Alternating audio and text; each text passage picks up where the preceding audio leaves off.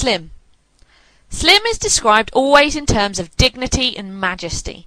When he first comes into the bunkhouse, he moves with a majesty achieved only by royalty and master craftsmen. He is a jerkline skinner, the prince of the ranch, capable of driving ten, sixteen, even twenty mules with a single line to the leaders. Slim is tall, ageless, and an expert in his job. His voice is the voice of rationalism. When Carlson suggests killing Candy's dog, Candy appeals to Slim as the final authority. Slim is so respected and admired on the ranch that even Curley listens to him.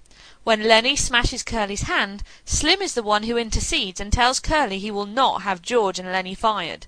Slim understands Curley's fear of ridicule, and he uses that fear to help George and Lennie.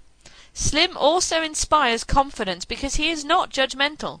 When George first meets Slim, George tells him about Lennie's trouble in Weed. George senses in Slim a person of intelligence and empathy who will not be mean to Lennie and make fun of him or take advantage of him.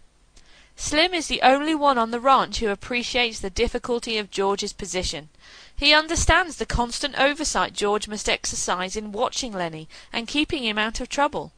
It is in the end Slim who suggests that George did the right thing in killing Lennie mercifully. He explains the alternative.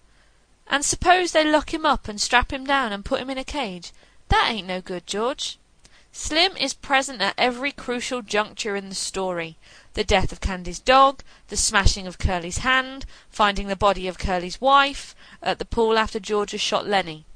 In each case there is violence or the threat of it. Each time, Slim helps make the assessment to do what is merciful or what is right.